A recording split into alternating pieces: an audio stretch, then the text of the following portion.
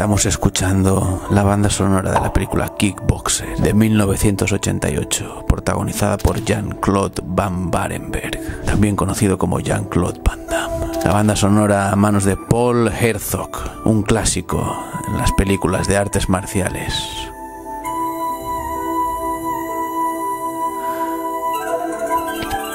Advanced Training. Esta es mi favorita. No sé si voy a poder poner mucho porque si no, probablemente nos van a freír los derechos, pero bueno, quizás sí, no lo sé. Cuando Van Damme empieza a dar las patadas a... Bueno chicos, ya, suficiente, me cago en la leche. Em, vale, en este vídeo... No me he puesto el micro, vamos a hablar así un poco. Eh, voy a reaccionar al anime de boxeo denominado Ashita no Joe. El Joe del mañana es su traducción. Vamos a meterle caña. Como veis, ya no me he puesto hoy el atuendo japonés. ¿Por qué? Pues porque aquello de que da menos calor que una camiseta de verano, me siento un poco como el viejo de, de empeños, el viejo de la casa de empeños, que hay un meme muy gracioso que dice, esos bastardos me mintieron. Aún estoy furioso, esos bastardos me mintieron. Pues eso soy yo.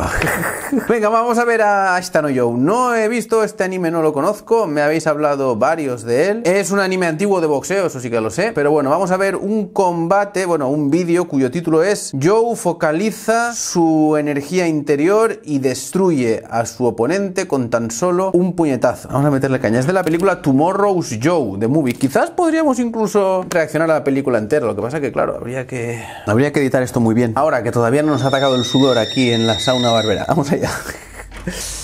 Vamos allá. The match is about to begin. Ok, va a empezar el combate. Dice, ganaré con un solo puñetazo, le ha dicho a su entrenador. Me cago en la leche. Va a ganar con un solo puñetazo, pero... Hostias, hostias, están metiéndole aquí uppercuts y de todo. Bien, bien. Buah, buah, buah, buah, buah, buah. buah. Esto es para caer al suelo ya. Esto en la realidad es para caer al suelo ya. La animación, esto que es, es un anime de los 70, diría yo, ¿no? No lo sé, pero por la animación habéis visto todo a mano, todo dibujado a mano, qué brutal.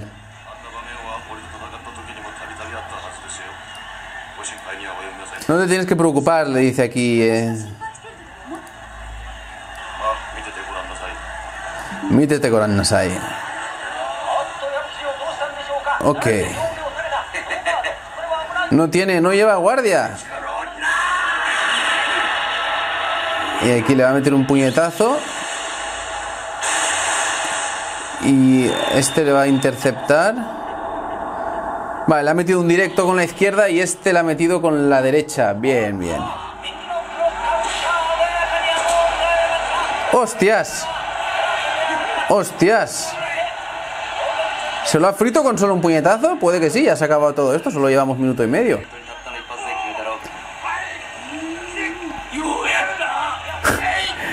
El entrenador está llorando del, ojo del parche. ¡Joder! Lo ha dejado frito con un solo puñetazo, es verdad, una contra. Sí, bueno, podría ser, podría ser. Las contras son muy peligrosas. Em, si las sabes hacer bien,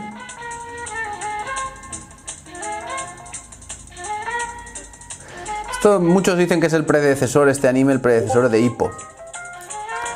Sí, está bien. Los animes en Japón pusieron deportes de moda. Por ejemplo, el, el eh, Captain Subasa, eh, Oliver y Benji, que lo llamamos en España, supercampeones, puso muy de moda el fútbol. Luego Slam Dunk puso en moda el básquet. Y eh, Ashita no Joe y...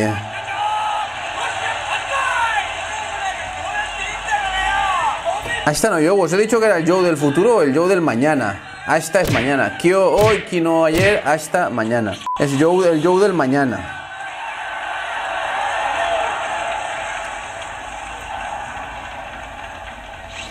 Probablemente eh, lo que os decía es que este anime y también el de Hippo pues pusieron de moda el boxeo. Tantos reventados.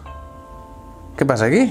Están reventados aquí los amigos. Vale, sí, todos están preguntándose por qué lleva tantos, por qué llevan tantos moratones y heridas. Bien, bien.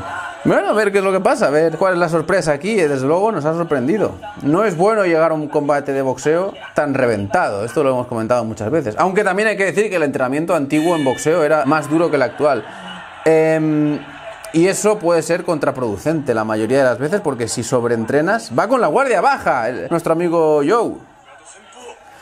Con la táctica de no, de sin guardia. Ahí, eh, vamos a parar esto un segundo. Pregunta, ¿en qué tipo de escenarios uno puede llevar la guardia baja? ¿Contra qué tipo de oponentes? Pregunta de examen. Contra, por ejemplo, si yo tengo los brazos largos, llevaría la guardia baja contra alguien que tiene los brazos cortos. Por ejemplo, cuando yo quiero ir a atacar en la distancia corta al oponente, llevaría la guardia baja. Si yo tengo los brazos cortos, llevaría la guardia baja contra alguien con los brazos más largos que yo. O al revés. Pues evidentemente al revés, al revés de lo que os he dicho. Si yo tengo los brazos más largos, sí que si soy bueno en los desplazamientos y en los contraataques, sí que puedo permitirme llevar la guardia baja para inducir el ataque del oponente. ¿Y por qué? Porque me ve descubierto y entonces dice, esta es la mía. Y yo como soy muy rápido y me lo espero y además puedo golpearle a él porque tengo más alcance, puedo golpearle a él, hacer que mi puño impacte y que él a mí no me llegue, pues entonces eh, le podemos meter caña y puedo llevar yo la guardia baja siempre y cuando, lo repito, sea rápido en mis desplazamientos y reacción. Si por otra parte yo quiero pelear al estilo Tyson, quiero ir al choque, eh, llevar la guardia baja, es una locura. ¿Por qué? Porque vamos a estar ahí intercambiando ganchos y uppercuts y si no, como no me cubra bien, voy a ir al suelo rápidamente. Vamos a seguir. Hay, boxeadores que en algunos momentos llevan la guardia baja, obviamente sí. Muchas veces llevan la guardia baja y lo que hacen es adelantar la cabeza. ¿Para qué? Para de nuevo inducir el ataque del oponente y así poder contraatacar. También, lo tengo que decir, si alguna vez estás boxeando con alguien y ves que baja la guardia y empieza a mover la cabeza, él lo que quiere es que le dispares arriba. Entonces tienes que enfocarte, si es un combate de kickboxing, por ejemplo, en las piernas, y si no, golpearle al pecho, por ejemplo, una zona en la que no pueda esquivar. No, a la cabeza no le, no le golpes. ¿Por qué? Porque está preparado ya y está haciendo movimientos, no es fácil, incluso puede que tenga un contraataque preparado. Vamos a seguir. Y vamos a beber agua. No nos deshidratemos. Cuidado con el calor. Una defensa sólida. Vale, una defensa perfecta contra los puñetazos. Ok. Oh, llega un uppercut, cross y contraataca con un combo de uppercut. Parecía otro directo. Oh, uppercut de Joe. No, right hook. No, no, parecía un, un uppercut, ¿no? Con la derecha. Vamos a volver a ver. A ver, ese puñetazo, ¿cuál ha sido?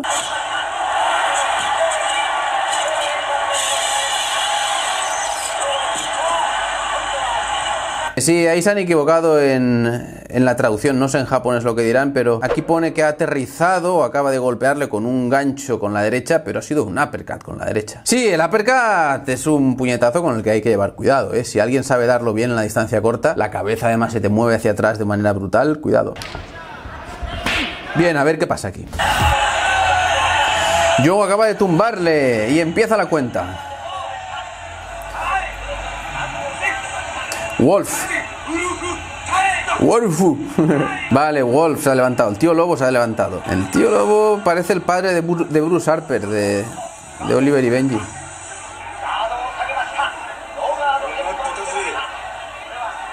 Vale, ahora... Vale, va a usar el... ¡Eh, hostia! Ha bajado la guardia está recibiendo golpes y golpes. Buah. Buah, buah. Estaría en el suelo ya, eh, en la realidad. Esto es una locura. Buah, buah, buah. Esto es una locura. Joe, vas a perder, tío. ¿Pero por qué? ¿Por qué está haciendo esto si le estaba superando? Ponte por lo menos en una guardia cruzada. Absorbe algunos golpes, pero todos.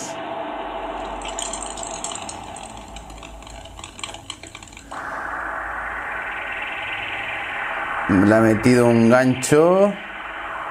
Sí, un gancho, un cross con la derecha y el pobre Joe se nos va al suelo. Está bien, ¿eh? está bien el anime este. La, animación me gusta, es original, la antigua, pero... Pero está bien. Pero Joe, ¿me puedes explicar por qué has bajado la guardia de, de repente?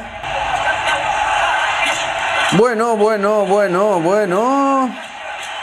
Bueno, qué paliza le están metiendo. Joe está en peligro, sí, tanto. Esto ya... Es realista este anime, pero también tiene puntos imposibles. O sea, sería recibir tantos golpes y mantenerse ahí. Tendrías que ser George Foreman. ¡Buah! Ha intentado contraatacarle y ha habido ahí un poco al estilo del karate, un bloqueo más golpe. Muy brutal, Wolf, muy brutal, sí. Se levanta, lleva dos cuentas, ¿no? A la siguiente cuenta ya se acabó el combate, por lo menos las reglas de ahora. No sé si en Japón en los 70 permitían todas las cuentas que...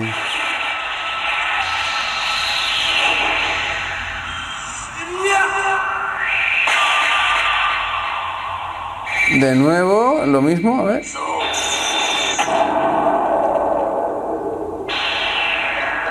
Hostias, le ha contraatacado esta vez. Le ha hecho lo mismo, habéis visto, bloqueo con la izquierda, el Wolf ha ido a pegarle con la derecha, pero este le ha contraatacado con la izquierda y solo con ese puñetazo destruye a su oponente. Me cago en la leche, Joe. Se ha acabado más destruido que el Titanic.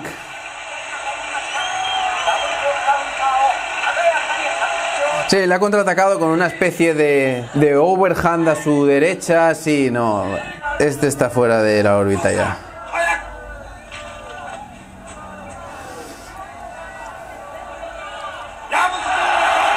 Joe Yabuki. Bien, Joe, bien, Joe. ¡Wow! Hombre, no me extraña.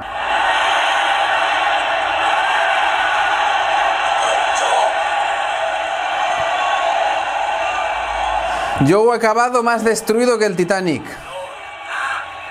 Y que el Titán.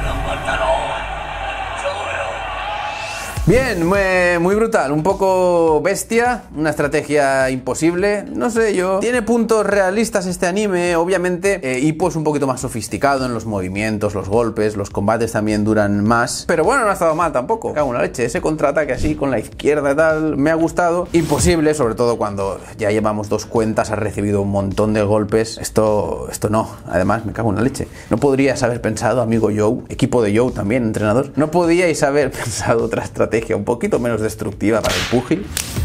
Pero bueno, ha estado bien. Si este vídeo os gusta, probablemente podamos reaccionar a más de este estilo, bueno, de este anime. Y nada más, ya sabéis, a entrenar.